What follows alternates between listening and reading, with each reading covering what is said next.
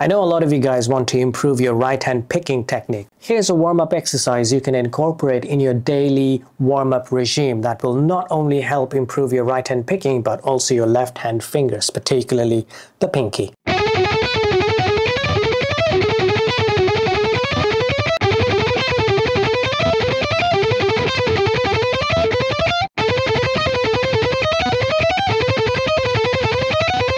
If you want the tab, follow me, tag a friend, and drop a rock on emoji in the comments below, and I'll DM you the tab myself. Also, if you want more contents like this, don't forget to turn all the notifications on, and I'll see you next time.